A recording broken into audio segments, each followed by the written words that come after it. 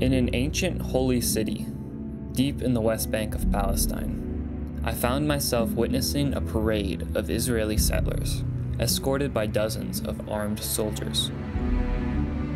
This so called settler tour, which had crossed into a Palestinian neighborhood in the segregated city of Hebron, suddenly brought the Israeli Palestinian conflict into direct view.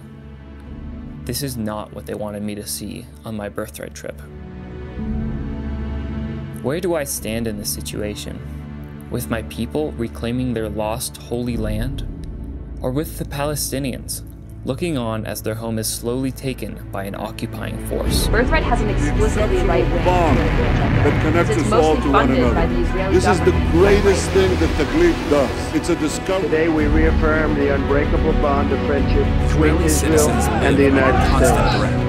Terrorist groups like oh, Hamas and synagogue is the deadliest attack on Jewish Americans in the U.S. about they can say anything. The Jewish state, of course, it's anti-Semitic by from the definition. Gaza Strip,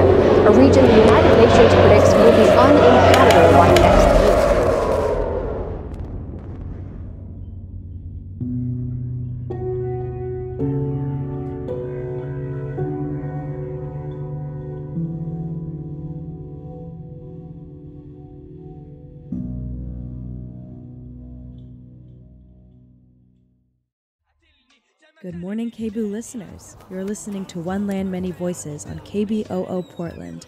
My name is Layla Kanan, and on today's show, I interview filmmaker and creative storyteller Ben Grayzel. Ben has an upcoming project he's working on about American Jewish identity and its connection to Israel, and I thought that he could provide a different perspective on the show. Here's Ben with us at KBOO. Thanks for coming, Ben. Yeah, thank you for having me, Layla. Um, so just give us a little bit of background, who you are, where you grew up, what you what your religion is, what you identify as. Right. So I grew up right here in Portland. I was raised Jewish and I had a bar mitzvah and I still identify as Jewish, but the religious aspects are certainly not a part of my life and the ethno religious identity is not a significant part of my identity at this point either. I went to Hebrew school once a week and we'd have Shabbat dinner, celebrate the major holidays. But other than that, you know, I really feel like if I was to just like describe my identity to someone, I would say I'm a filmmaker. I I'm a student. I like to go outside, and I, I don't think that uh, when I think about who I am, my Jewishness comes first. But I think it's interesting because this is what Birthright, for instance, and a lot of these programs are really concerned with is people like me who their Jewish identity isn't a significant part of their life, and that's really threatening to a lot of people. Right. So speaking of birthright, can you tell us about the upcoming project that you're working on? Yeah, so uh, advertisement came up on my Facebook page for an organization called Birthright, and they were saying you should come on this free trip to Israel. And I was thinking about it. I'm like, that could be a really interesting documentary project to make. Like, I have this kind of complicated relationship with my Jewish identity and to the state of Israel, and it could be really interesting to explore that through a film project for a month and see what happens. So what are you expecting to get out of it?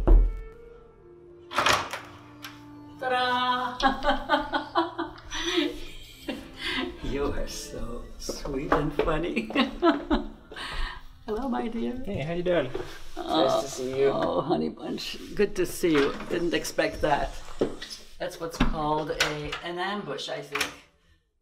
Right? Now, I need to pull out some chocolates for you.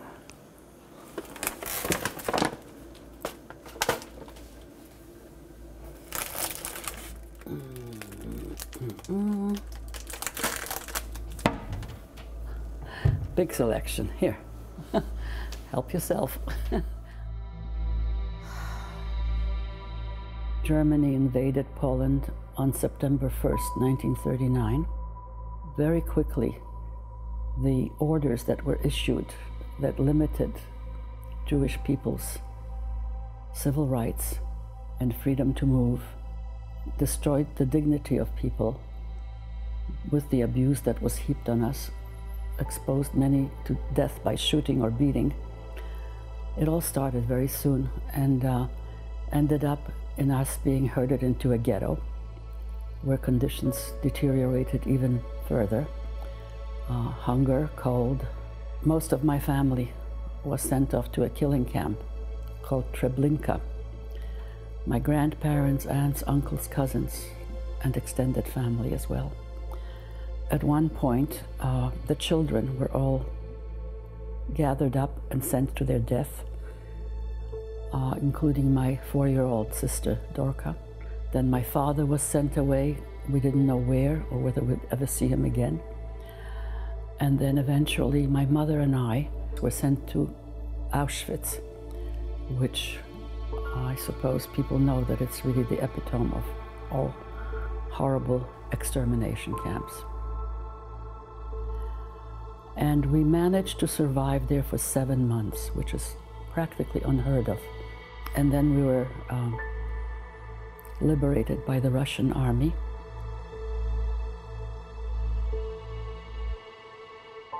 When we came into Auschwitz, I was tattooed at the end of the processing.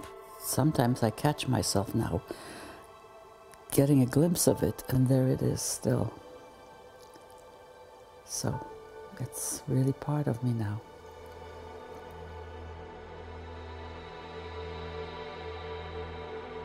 We knew that we had to leave Poland because there was no future for Jewish people there that we could see. All our relatives practically had been murdered there. Our uh, town, our community was wiped out completely. It was just too difficult to stay there. And uh, I began to learn about uh, Zionism. I was very enthused about the idea of a Jewish homeland, especially having just gone through this horrible destruction of the majority of our people in Poland and Europe in general. And none of the countries had stepped up to protect the Jewish populations in those places. And that was very painful, and it convinced me, it made me realize that we needed to have our own homeland, our own country.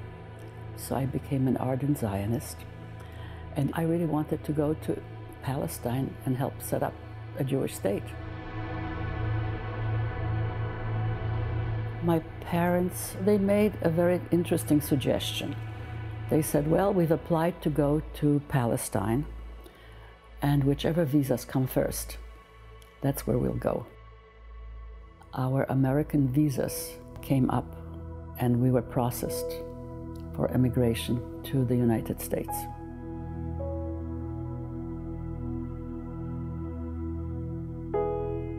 But it's just so interesting to think that like that family lineage could have like it wouldn't be me obviously, but me as the the the grandson of my grandmother would be living in Israel right now. Right. You know, it could have Right. happened so easily.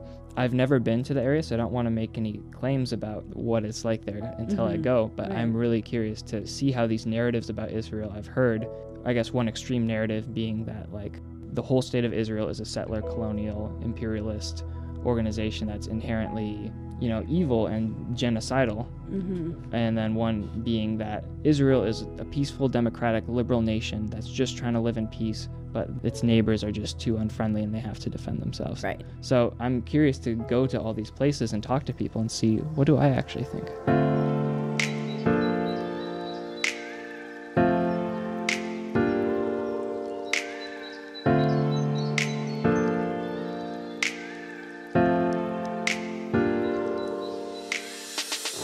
Birthright has a strict policy against any filming during an official tour.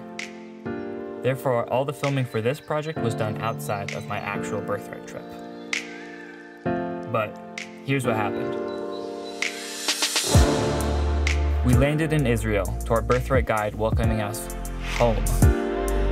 We went out clubbing in the vibrant city of Tel Aviv. We visited the Western Wall and the Kotel, the holiest site in Judaism. We traveled the tiny country from north to south, learning about the history of this land and its importance to our people. It was a powerful and moving experience, but most of all, it was really fun.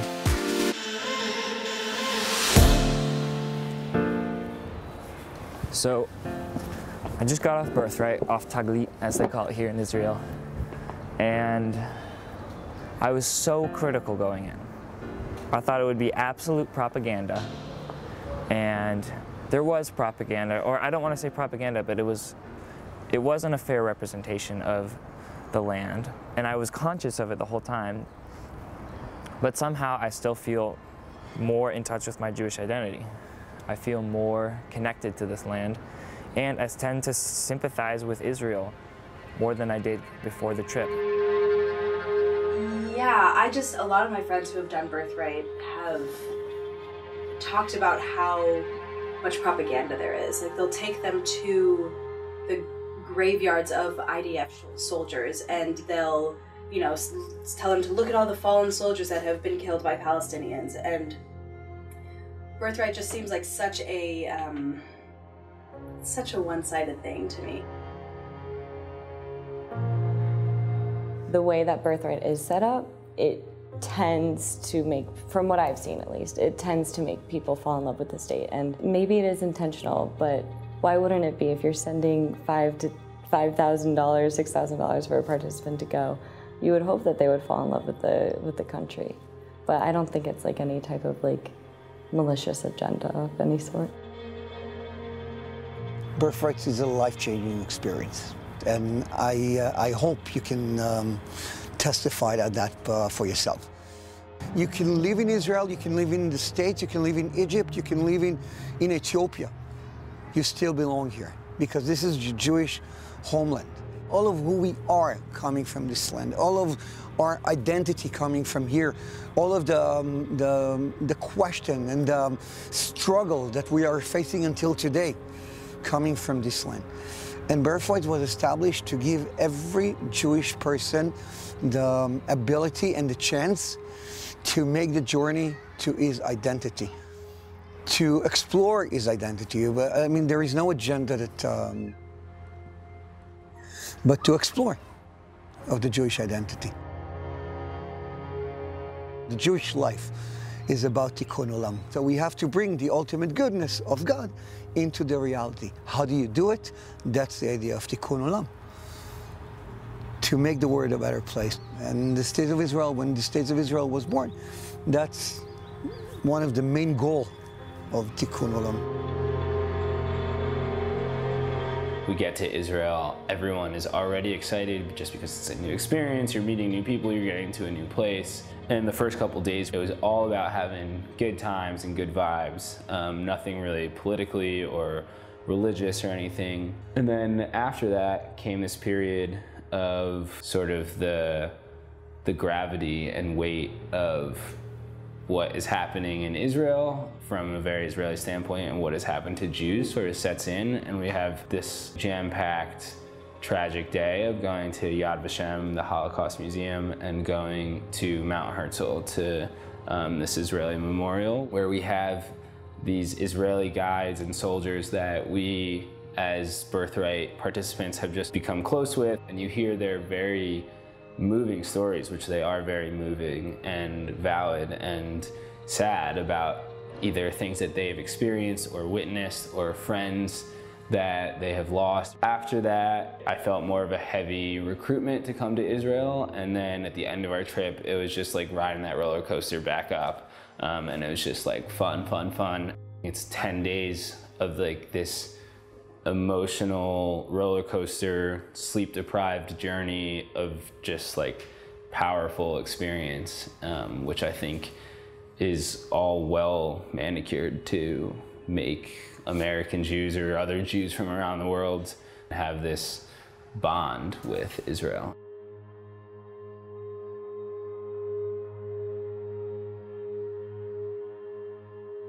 I grew up in a very reformed household. I went to Jewish day school and everything, but it was just something I did. It wasn't something that was like necessarily meaningful to me. And then as I got older, I decided that birthright was something I wanted to do because personally I love traveling. And um, this was kind of just a reason to travel somewhere else. And then, you know, it's a free trip essentially. So why not take advantage of it? I went into the trip expecting a fun time, free trip, you know, ma making some friends, but when I got to Israel, it was like something just like clicked.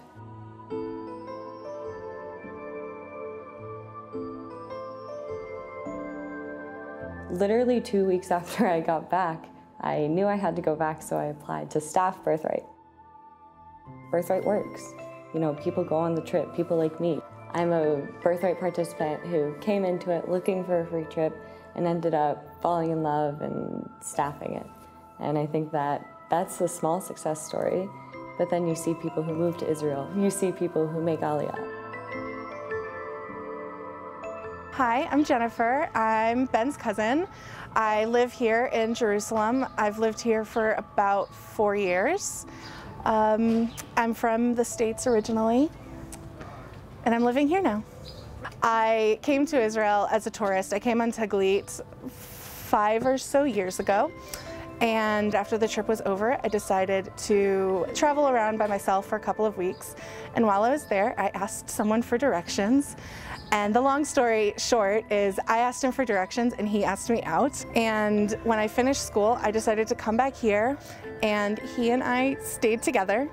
And now here we are four years later and we're still together. So. On my first day off of Birthright, I took the bus across town to meet up with my grandmother's friend, Naomi. This is my granddaughter Sharon and her husband John. It's a wedding. They met in Taglit in Israel, and five years later they got married. When he finished school and she finished school, and now they have a little girl, and they are very, very happily married. so Taglit works, huh? Taglit works definitely. It's a wonderful uh, program. She was so happy. She came the second time as a leader, and she recruited close to 20 uh, students to come and participate in Taglit. To me, Naomi represents the Israeli counterpart to my diaspora grandmother, having immigrated to Palestine as a child before the Holocaust and before the establishment of the State of Israel. What does Herzl represent to you? The Zionist movement. He was the founder. Because of him, we live here in Israel and we were saved because all my mother's relatives were taken to Auschwitz. My grandparents, my uncles and aunts and cousins. We are the only ones that came here to live here.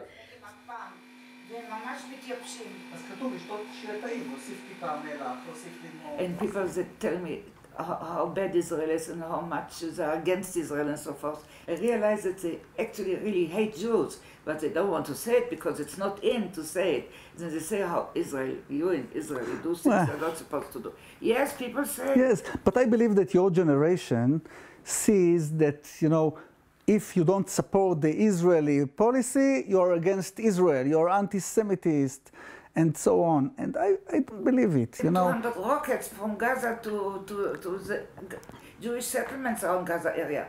They will only talk about the Israeli airplanes that bombed Gaza, but not why they bombed Gaza. But do we tell ourselves, and we, do we tell the Americans, the, our, you know, our American brothers, Jewish brothers, why the, the Arabs in Gaza bombed us from the first place? Because they are desperate. They have no, they, they have no hope. They have no signal of hope. But where are their leaders? Hmm? They get so much money from all over the world and they build those tunnels. right? No legitimacy to violence. I agree with you, but we control their life. We control the electricity, we control the water supplement, we control the medical supplement. Giving them all this. Let's face it, Israel is the stronger side, much stronger side. When, when the Palestinians bomb us, They get it back.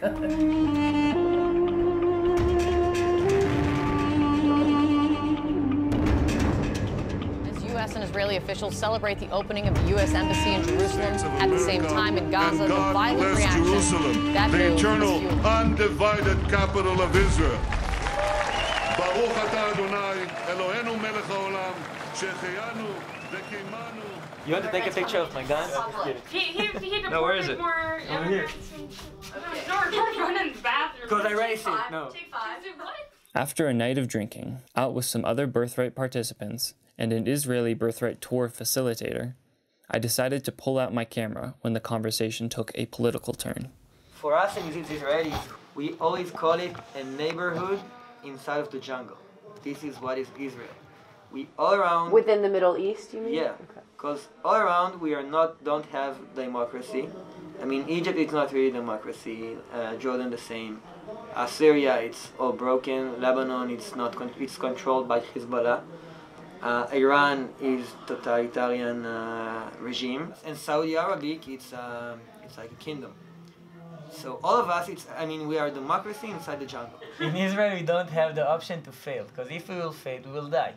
Now, so, you're, so you're kind of saying it's about the uncertainty. Like you already know that We are electing Jewish. Netanyahu isn't going to lead to the destruction of of Israel. us- Like Israel is surviving under Netanyahu, so I you don't can- want to lead to the uncertainty. I can promise you one thing as a Jewish. You are Jewish, okay? We are. I. I. It's. It's. so- It could sound bad, especially in a videotape. Jewish, and I say it about myself. To be a Jew for me, it's all. It's like a rat. It's always to find or to think about uh, the way to escape from some catastrophe who can happen in your life. It's a way of life. Because this is the Jewish way. We don't have any other option because we know that if we're gonna be weak, then someone will kill us. This is the math. This is the it's x it's it's uh, equal to y. I don't know. It's if you'll be weak, you can die. You will be die. I wonder what you think about the fact that anti-Semitic hate crimes have risen significantly in America since Trump's election. I mean, you can talk about correlation versus causation there and everything, not but yeah, Trump. that's a fact. It's not because of him. No, but it's it falls under. You want to say he is uh, failed. Well, because we He's- can disagree, or we can agree to accept each other's opinions and learn from them. Yeah. And I'm still glad have to be grown- a Jew who's visiting Israel right now. I'm glad to. Regardless of whether I agree with, you know, Anyone. Israeli politics or anything. Yeah. I came on the uh, LGBT trip. In general, in my experience, I would say it was a lot more balanced and less like super nationalistic, like go Israel than I thought it would be. I thought it would be like a lot of propaganda, sort of that I'd have to like, you know, sort through on my own. But I feel like our tour guide did a very good job of presenting the nuances of more issues. The most negative part of my birthright experience was the uh, mega event. So it was thousands and thousands of people all on birthright trips from all around the world. It was basically like kind of a giant like concert party sort of thing, but with a very, very like pro-Israel agenda. It was very nationalistic, very much not the kind of nuanced perspective that I had been getting from the rest of my trip. And I, I left that event feeling more uncomfortable, like with being a Zionist. It's also a tension within me thinking about having a Jewish state. Does that imply Jewish supremacy? Is that the equivalent of white nationalism? I think that's what made me so uncomfortable about the Birthright Mega event is that it really did feel more nationalist and more like, you know, we're Jews, this is our country. Whereas seeing this as a state that is explicitly a safe haven for Jews who have not had that sort of place throughout history. To have a Jewish state is important. Um, to have a homeland is important. I feel like most cultures have a place that they can call home. Um, and that brings a sense of security to a people. Um, the Holocaust wasn't that long ago. And even now, we have Muslims in concentration camps. And this idea of eugenics, of making a pure race, is not in the past. These things aren't gone. Like, how are we going to be safe? That's a big issue. We begin in France, where a surge in anti-Semitic violence and hate speech has percent of anti-religious hate. anti-Semitic incidents, a of 57% fleeing. Europe Anti Semitism is on the rise in America, spiking dramatically over just the last two years. I don't like, personally, I don't like the linkage. Anti-Semitic in the States of Israel, it's something that I don't like because we here because this is our homeland. And yes, this is a safe place to the Jewish people. But a safe place, it's like a by-side to, um, to the idea of the States of Israel and our connection to this land. The dream of coming to the States of Israel didn't start from 1917 in the Balfour Declaration. Every Passover, when you're doing the ceremony and you remember and you mention the, um, the time that uh, you made the exodus from, uh, from Egypt, the last paragraph is לשנה הבאה בירושלים הבנויה, next year in Jerusalem. The idea of dreaming of Jerusalem and coming to the homeland and was always there. So you don't have to support the States of Israel. You don't have to speak Hebrew. You don't have to be Zionist. But you always have to be a spot. Because um, it's your home, it's as much as it's mine. After 20 days in Israel, 10 on Taglit and 10 on my own, I was feeling more connected to the idea of Zion than ever before. But I also felt that something was missing. Something was being left out of the frame. I was ready to see the other side. I was told in Israel that the West Bank was extremely dangerous for Jews, an Islamist jungle filled with terrorists that wanted to kill me simply because of my ethnic background.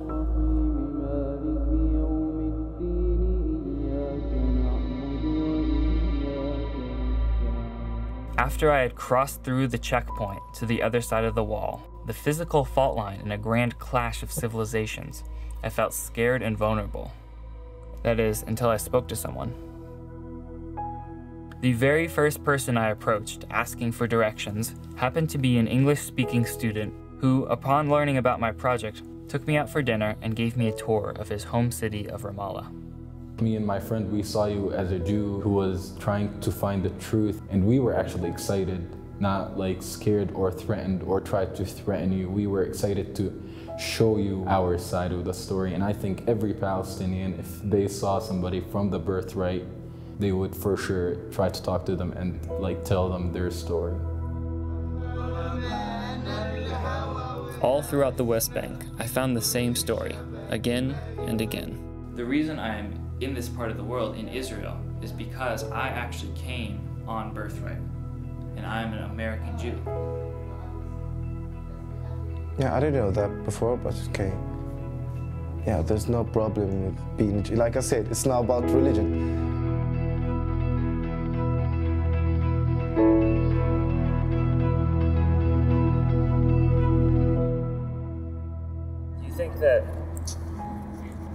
Be a day when you can like be friends with, you know, Jewish people? I, I want to like just say something, something about like it's, it's not about Jewish people. They're still humans. Like you cannot like hate them or like or not be in friend with them. So, I'm actually Jewish too. So this is cool. Like a- as I told you, like it's, it's not about like being Jewish or something. It's about like what what you're fighting for.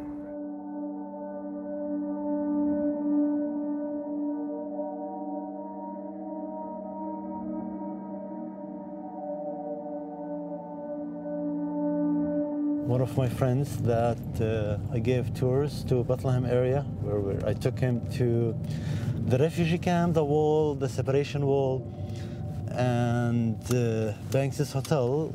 After that, I decided to invite him for Kunafe.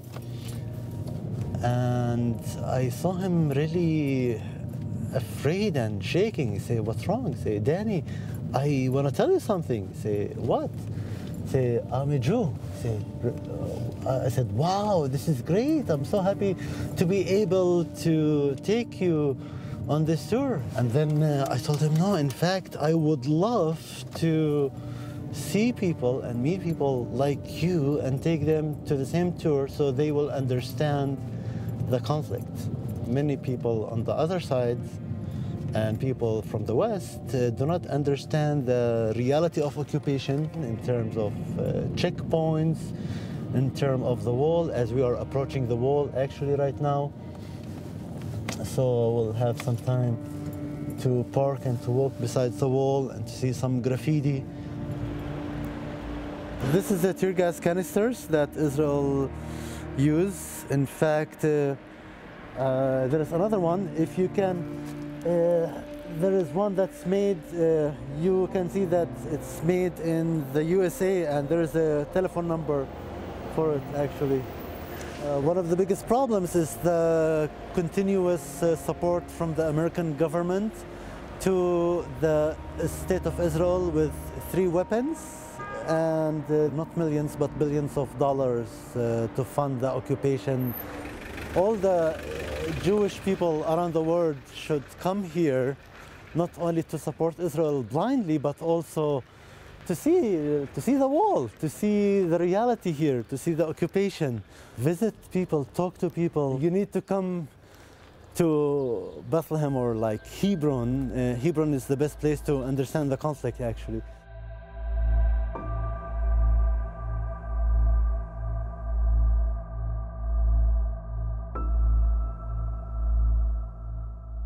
Live in Palestine, and especially in Hebron, it means that you live without your basic human rights. I am as a Palestinian, I am under the Israeli military law, which means I'm not allowed to practice any kind of uh, uh, general assembly. I'm not allowed to protest peacefully. I'm not allowed to express my opinion against uh, the occupation. I don't have any kind of freedom of uh, movement in my own city and in, in my own country. We live in the same area with Israeli uh, settlers. I am under the Israeli military law, and Israeli settlers who are living in the same area are under the Israeli civil law. Two sets of law for different people in the same area. That is completely insane.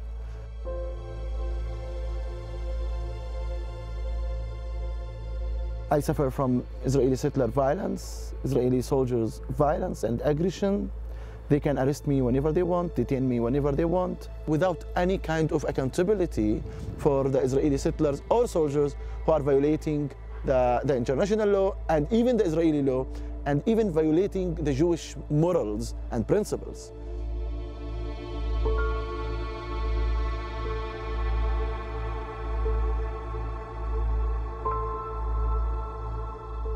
Shortly after my interview with Isa, I came face to face with the Settler Tour, a group of Israeli settlers being escorted through Palestinian streets by armed soldiers. Where was the Jewish moral principle of tikkun olam here?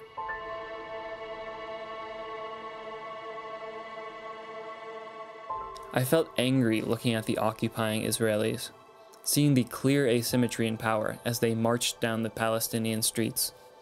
But I also felt empathy for these soldiers, knowing that if my grandmother had received her visa for Palestine, it would be me out on the streets, fulfilling my mandatory army service. I don't blame the people of Israel at all.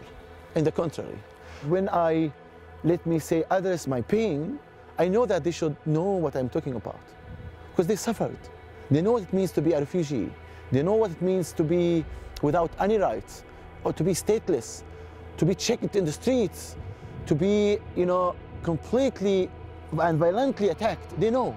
So when I talk to them, I want them to understand that I'm suffering now as a Palestinian from what they suffered in the past.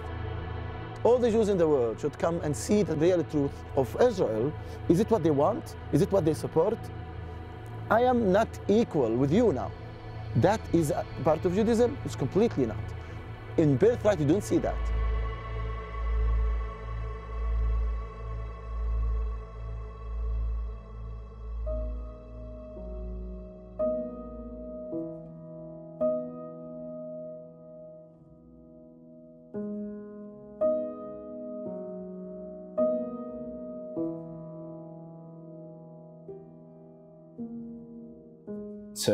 Since birthright, I have come to Ramallah, which is where we are now, um, which is in Palestine, the West Bank. I'm here to just spend time on the other side of the wall um, and to get another narrative, the, the other side of the coin, so to speak.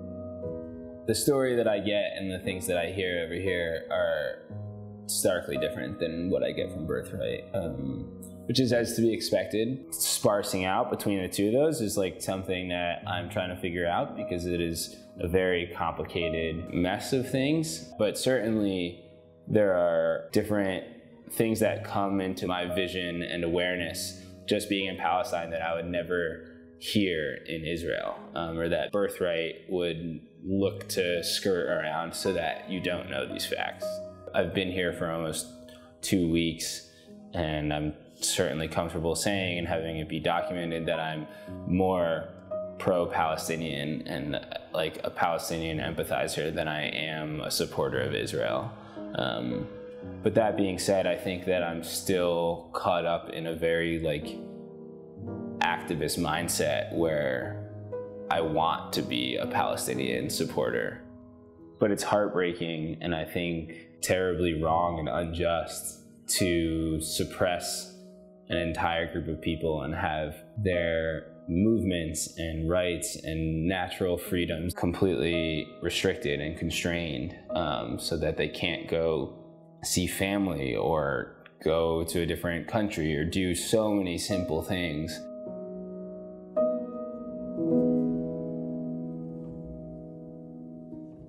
The birthright movement thing is really funny to me and ironic because uh, most of my cousins are Palestinian and maybe 90% of my cousins cannot enter Palestine. If you're Palestinian, you're mostly a refugee. You're lucky if you can enter Palestine and live here. I was born in Jerusalem, so to me, my birthright is for me to be able to enter Jerusalem. But for somebody who's American, his uh, their parents are American, like they've never even came close to the Middle East. It, that's their birthright. That doesn't make sense.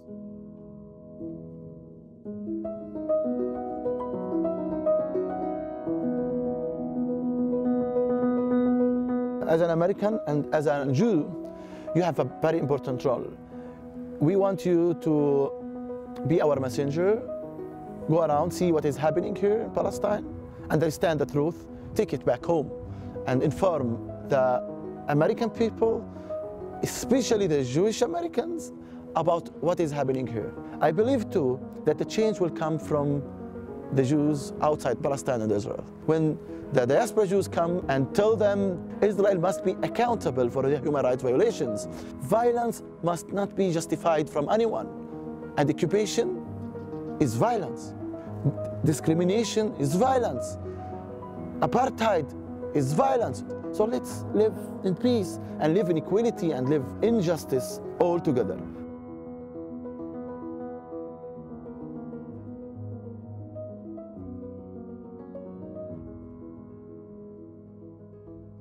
Do you feel it's important for me to have a sense of Jewish identity? Well, um, at this point, it is your decision. You're an adult now. Whether you want to accept that heritage or not, and which part of it you accept and which part you don't. And I think everybody in any culture or nationality has those choices to make. My month in Zion was coming to a close. It was my last night in Israel before my flight home to the diaspora. It was a rainy night in Jerusalem. Unbelievably, my time in Israel and the West Bank had made me feel closer to my Jewish identity. I had always believed that holding on to ethnic and religious roots was holding humanity back from understanding what we all share in common and where we're all going together. But after my experience in this strange land, I felt it was important to hold on to certain parts of my heritage. You're young, and as you grow, remember that it's your responsibility to assure the future of the Jewish people. It's your home, it's as much as it's mine. I am not equal with you now. That is a part of Judaism.